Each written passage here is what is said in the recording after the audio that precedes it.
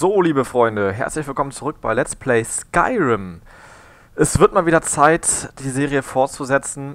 Ich habe jetzt ein paar Tage nicht gespielt, allerdings nicht, weil ich keinen Bock hatte, sondern weil ich derbe Probleme mit meinem Rechner hatte. Also der Rechner an sich hat funktioniert, aber ich musste ähm, einige Einstellungen umändern, dank des neuen Nvidia-Updates. Es gab ein paar Probleme mit meinem die Story Video Codec, mit dem ich aufnehme. Das Spiel hat ständig gehangen, geruckelt. Ich habe nicht herausgefunden, woran es liegt. Es waren tausend kleine Feineinstellungen, die jetzt dazu geführt haben, dass das Spiel einigermaßen ruckelfrei läuft. Ich wollte euch halt Skyrim nicht in schlechter Qualität bieten, deswegen habe ich einfach nicht weitergespielt. Ähm, ihr habt es wahrscheinlich auf YouTube gesehen, die Qualität von den ersten vier Teilen war nicht besonders gut. Das hat mich tierisch gefuchst, deswegen ähm, die ewig lange Fehlersuche. Ja, und jetzt nach ein paar Tagen endlich die Fortsetzung von Skyrim. Ich freue mich übelst, dass ich jetzt wieder weiterzocken kann. Ihr seht, es läuft einigermaßen flüssig. Das passt. Ähm, ja. Jetzt mal von den technischen Problemen zurück zum Spiel. Ich habe letztes Mal, soweit ich mich erinnern kann, mit einem Quest aufgehört. Nämlich ähm, hier Fendal und äh, Sven. Die beiden haben ja versucht, diese... Beziehungsweise hier Fendal Ne, wie war das jetzt? Sven. Sven war der Typ, der äh, Camilla zurückgewinnen will, weil Fendal mit ihr redet und äh, rumtuchtelt und so ein Kram. Und er möchte gerne, dass ich Camilla einen gefälschten Brief von Fendal bringe, in dem Fendal über sie ablästert, bla bla bla. Ja, ich habe jetzt mehrere Optionen. Ich könnte jetzt zum Beispiel... Äh, wo ist es jetzt? Ach, mein Gott. Ich könnte jetzt Camilla entweder von also den Brief zeigen, oder ich könnte Fendal davon erzählen. Und ich glaube, als allererstes werde ich einfach mal Fendal von dem Brief erzählen, mal gucken, was der dazu sagt, dass der Sven versucht, ihn zu verarschen. Weil irgendwie ist das ja schon eine ziemlich linke Nummer, ne, muss ich sagen. Ähm, es gibt bessere Methoden, um eine Frau zurückzugewinnen. Aus dem Weg, Fremdling. Ja, komm, du Arsch. Ich bin zwei Meter an dir vorbeigelaufen, Junge, als wenn die Straße nicht groß genug für uns beide wäre. So, wo ist denn Fendal? Ich sehe da hinten einen Pfeil. Ich gehe mal gucken. Da ist er doch. Perfekt. Dann wollen wir ihn mal anquatschen. Seid gegrüßt, Elfenbruder. Es ist schön, so weit weg von zu Hause ein vertrautes Gesicht zu sehen. Oh ja, finde ich auch. Das ist endlich mal schön. Ähm, könnte ich mich in schießen? Nein. Sven wollte, dass ich Camilla diesen Brief überreiche. Und überhaupt, er wäre von euch. Was führt dieser Prahlhans jetzt im Schilde? Er glaubt also, er könne Camilla gegen mich aufbringen? Man kann den Spieß auch umdrehen. Hier, überbringt Camilla diesen Brief und sagt, er sei von Sven. Wollen wir doch mal sehen, was sie von ihm hält, wenn sie das gelesen hat. Also er dreht den Spieß jetzt einfach um und hat mir auch einen Brief gegeben für Camilla. Also habe ich jetzt zwei verlogene Briefe und kann mich quasi entscheiden, welchen ich Camilla gebe. Ähm, nichtsdestotrotz, auch wenn der hier auch ein verlogener Hund ist, frage ich ihn jetzt einfach mal. Könnt ihr mich in der Schießkunst unterrichten? Ich zeige euch, was ich weiß. Hm. Oh, kosten 300 Gold. Ich habe 500 Gold. Nee, das werde ich jetzt ähm, definitiv nicht tun. Auf Wiedersehen. Ja, mach's gut. Schwing den Hut. So. Jetzt kann ich Camilla von dem ganzen Kram erzählen, den ich hier herausgefunden habe. Oder ich gebe ihr einfach irgendeinen Brief. So. Sie scheint hier im Flusswald Handelskontor zu arbeiten. Ähm. Ach ja, stimmt, mit denen hatte ich ja schon geredet, ne? Findet, genau. Das war ja die Geschichte mit der goldenen Klaue. Das ist jetzt schon wieder ein paar Tage her. Tut mir leid, für euch ist das jetzt nur ein Videoclick. Aber für mich... Ich habe einen Brief für euch von Sven. Ach ja, komm, lass mich mal in Ruhe hier. Ich habe einen Brief für euch von Sven. Entweder sage ich ja das oder Fennel hat mich gebeten, euch diesen Brief zu geben und zu sagen, er sei von Sven. Hm. Das ist die Frage. Ich werde, glaube ich, die Wahrheit einfach erzählen. Er? Wovon redet ihr da? Dieser eifersüchtige Idiot. Hat er gedacht, er könnte mich so manipulieren, dass ich Sven nie wiedersehen will? Danke, dass ihr mir die Wahrheit gesagt habt. Ihr solltet mit Sven reden.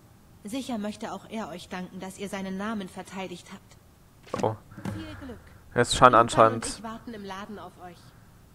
Sven der einzig gute, richtig nette, charmante Mensch zu sein. In ihren Augen.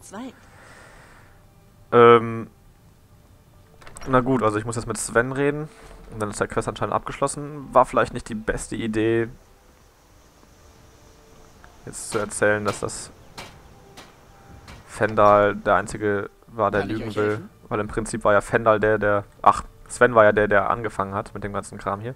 Oh mein Gott, wenn ich mir die ganzen Namen hier im Spiel noch merken in den will. schlafenden Riesen kommen, um mich spielen zu hören. Für eine geringe Summe dürft ihr euch sogar das Lied aussuchen. Nee, kein Interesse, danke. Ich glaube nicht, dass Camilla weiterhin ihre Zeit mit Fendal verbringen wird. Das wollte ich hören. Gut gemacht. Ich finde, ihr habt etwas Gold von meinen Trinkgeldern in der Taverne verdient. Na gut, jetzt habe ich anscheinend gefolgt. Ich kann ihm jetzt sagen, folgt mir, ich brauche eure Hilfe. Und ich kann äh, ihn fragen, wo es frische Vorräte gibt. Handelskontor hat von allem etwas. Wenn ihr Waffen oder Rüstung braucht, sucht den Schmied Alvor auf. Danke für den Tipp. Aber deine Hilfe brauche ich jetzt erstmal nicht. Schickes Haus hast du da. Wunderschön. Gut. Dann würde ich sagen, da wir diesen Quest ja jetzt abgeschlossen haben, machen wir das mal auf der Suche, auf die Suche nach der goldenen Klaue. Deswegen die goldene Klaue. So. Oh, das Wetter wird ziemlich scheiße, wie es aussieht. Wo muss ich denn hin? Hier rüber. Da hinten ist das. Ach, das ist wahrscheinlich da oben diese Ruine auf dem Berg, wo ich hin muss. Ja, sieht ganz so aus. Werde ich mich mal dahin begeben. Oh. Ich werde abgetrieben. So, Leute, ich bin mal gespannt, wie die Qualität des Videos auf YouTube sein wird. Ich habe vor ein paar Stunden versucht, Battlefield 4 ja, Preview hochzuladen in guter Qualität. Ich habe meine Schwierigkeiten. Auf dem Rechner von mir sieht das Video ultra pervers aus. Tatsächlich genauso wie äh, in-game. Nämlich in Grafikeinstellung Ultra. Bei YouTube allerdings ähm, ist die Qualität dann ein bisschen verloren gegangen. Ich weiß nicht, wie die ganzen Leute das machen, dass sie ihr Video Qualitäts... Äh, ja, oder verlustarm hochladen. Oh, oh, oh, oh, oh, oh, oh. Jetzt erstmal schnell eine Nahkampfwaffe ausrüsten.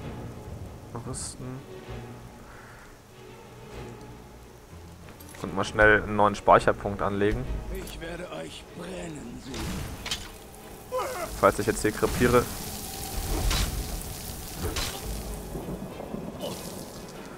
Okay, ich bin schon fast am Sterben. Ich muss mir jetzt schnell der kleinen Heilung.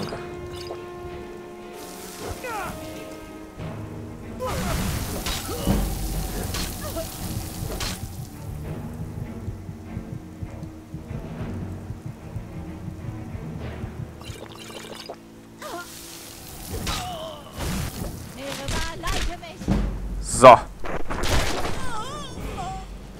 Das hätte ich geschafft. War, ja, ziemlich knapp, muss ich sagen. Warum zum Teufel haben die mich jetzt angegriffen? Totenbeschwörer-Novize. Nun gut, da gibt es eine schöne Robe. Die ist 55 wert und bei einem Gewicht ist das ein ziemlich gutes Verhältnis. Die Stiefel nehme ich jetzt nicht mit. Oh, guck mal, eine nackte Frau in einem Videospiel. Dass das in Deutschland nicht verboten ist. Ja, okay, ganz nackt ist sie jetzt auch nicht. Gut, das hätte ich überlebt. Ähm, direkt nochmal drüber speichern. Falls ich jetzt gleich krepiere. Das ist immer das Wichtigste. So. Und auf geht's weiter zu dem zu der Festung oben, wo die goldene Klaue versteckt ist. So, und jetzt zeige ich euch mal den Trick, den ich normalerweise immer anwende, womit ich so ziemlich alle Feinde töten kann, die äh, mir über den Weg laufen, ohne selbst Schaden zu bekommen. Nicht so wie gerade mit diesen beiden komischen äh, Zauberfritzen da. Die haben ja schon ziemlich viel Schaden zugefügt. Oh. So viel zum Thema unentdeckt. Normalerweise mache ich es nämlich so, dass ich mich anschleiche mit meinem Bogen. Und äh, aber eine Überraschung.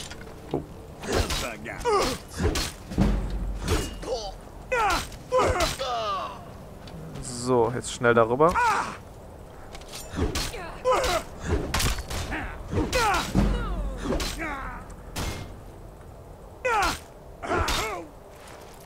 Pa! Der gehört auch der Vergangenheit an. So, ich würde sagen, ich habe mich gar nicht so schlecht geschlagen. Ähm, das Gold nehme ich mit. Das Schild nehme ich mit, wenn ich noch Platz dafür habe.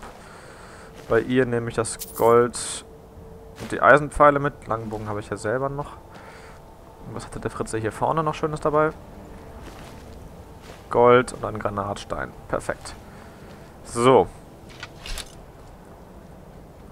Dann werde ich mal gucken, was es hier noch Schönes zum Mitnehmen gibt oben auf dem Turm.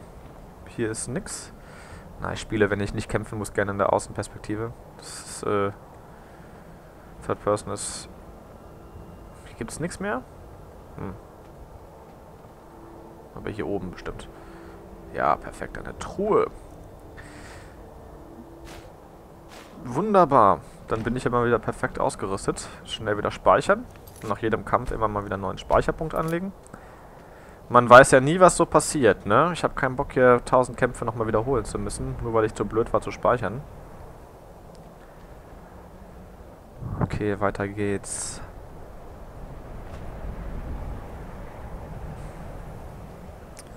So.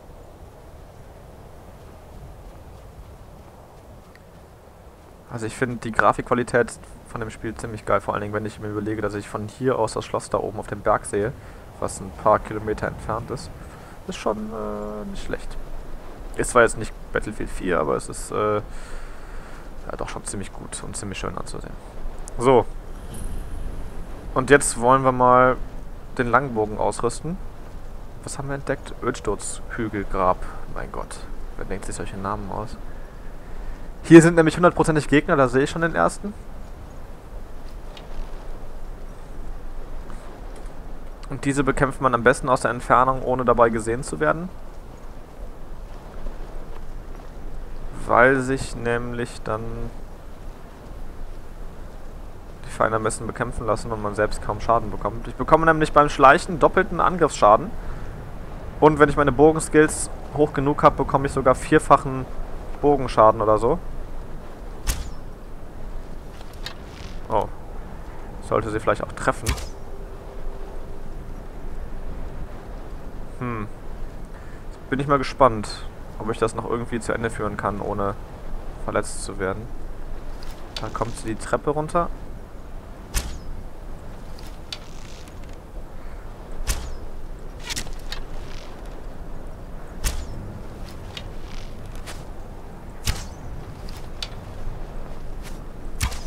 Na gut, okay, das mit dem Unentdeckt und mit dem Schleichen hat jetzt gerade nicht so wirklich funktioniert.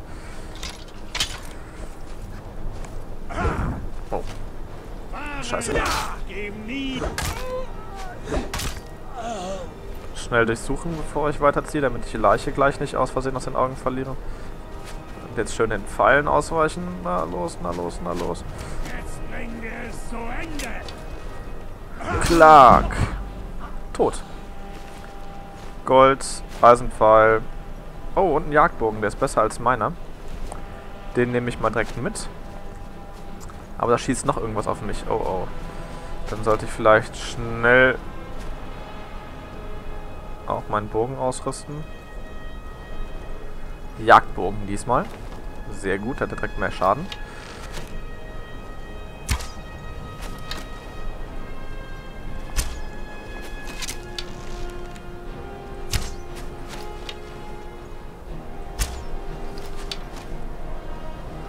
Aber ich treffe ihn leider nicht mehr. Oh, jetzt treffe ich ihn. Und tot, mein Freund. Oh, ich treffe ihn nicht. Scheiße, scheiße, scheiße, scheiße, scheiße. Er holt sich wieder. Na komm. Noch ein verdammter Schuss. Bleib stehen.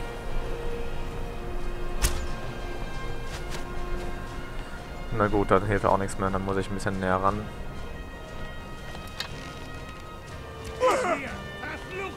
Pass auf, jetzt sterbe ich noch, obwohl er gar kein Leben hat. Ey, das gibt's doch nicht. Na also. So, Gold, Eisenpfeil, Langbogen dass ich da. Den Dietrich nehme ich noch mit. Perfekt. Direkt mal wieder einen Speicherpunkt anlegen. Und dann, ähm, können wir anscheinend schon... Ne, ich will nicht warten. Ich will meinen Bogen wegstecken. Falsche Taste. Hier in dieses Grab können wir jetzt rein. Das heißt, wir werden jetzt die goldene Klaue suchen. So, da sind schon die ersten Gegner. Ich werde jetzt versuchen, diese auch aus der Entfernung umzubringen. Scheiße.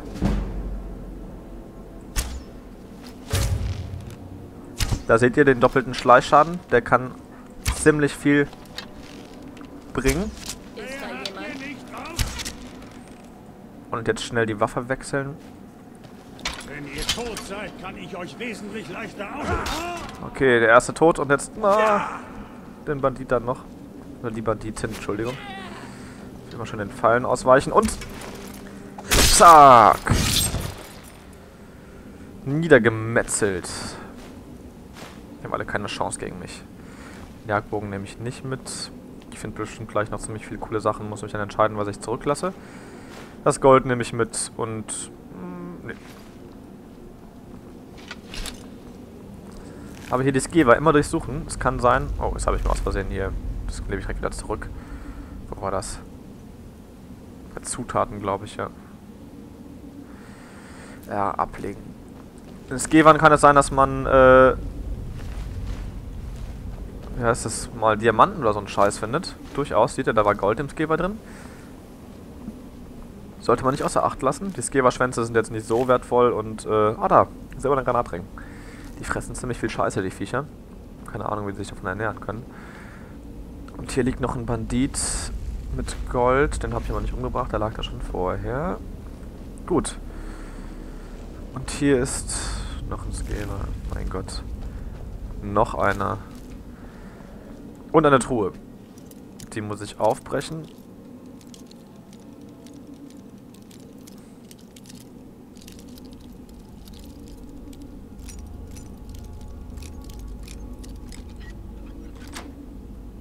Perfekt.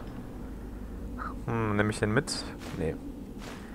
Ich brauche ja keine Rüstungen. Ich mache ja immer alles mit meiner leichten Rüstung. So. Aber jetzt nehme ich mir wieder meinen Bogen in die Hand. Speicher kurz.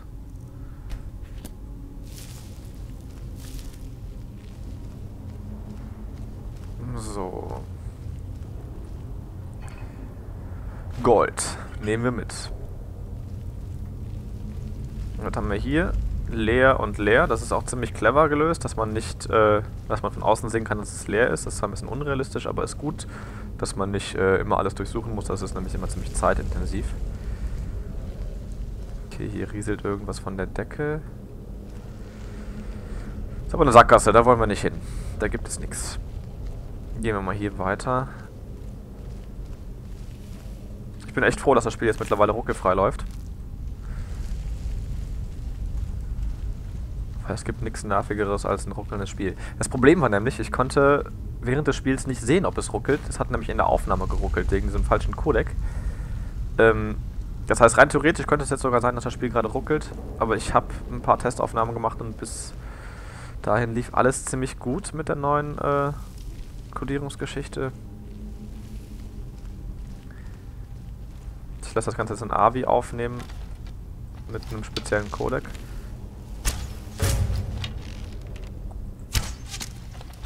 Lassen wir die Spielchen. Okay. Jetzt schnell die Waffe wechseln.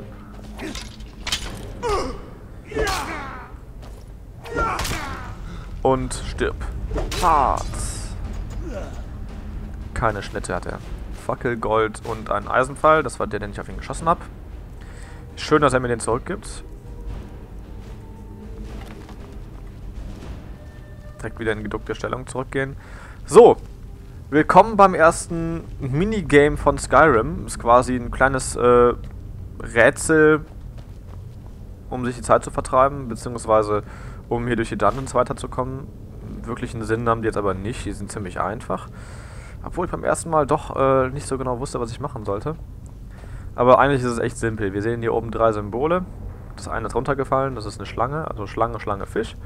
Und hier haben wir drei bewegbare Symbole. Also müssen wir da einfach auch die Symbole eingeben, die wir oben sehen. Schlange, Schlange